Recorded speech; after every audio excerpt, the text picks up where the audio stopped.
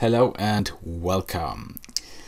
This year I bought a new laptop, a ThinkPad L15 AMD laptop and I'm very happy with the laptop. It's uh, very fast, it's good quality, but I have one minor issue with the device and that is the microphone. The microphone is very quiet. For example, if I do a Skype meeting, Microsoft Teams, or I do record something with the internal microphone, it's very very quiet. The recording is isn't very loud, and that's really an issue.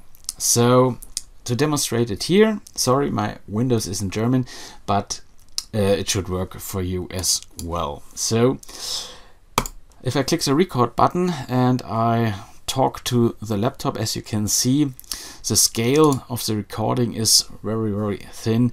It's very, very quiet. So I did some digging on the internet and I found a tip to change the driver, the driver of the sound card. So let's close Audacity and to change the driver we have to open the device manager of Windows.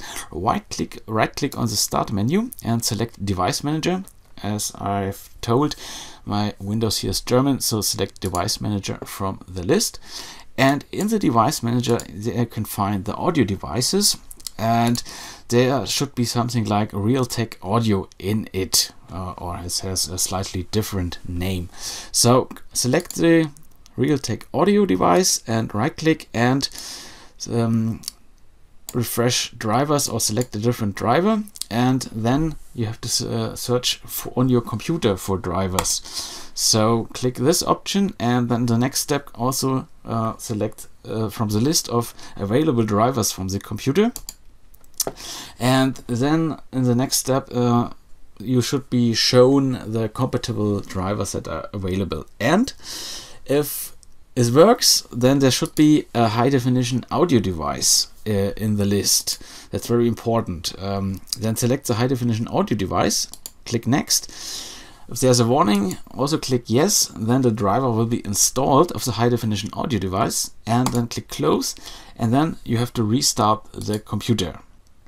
Okay, I have restarted and I'm back into the in the device manager. And in most cases, the Realtek audio device shouldn't be there. It should be named um, high definition audio device. In my case, it's still Realtek audio, but a different driver is used. If you have a look to Audacity now and I record my voice here, as you can see, the scales it's much wider and yeah, the the volume is much higher and basically this solves my problem of the Microsoft microphone being too quiet. So this might work for you as well and well that's it. Goodbye.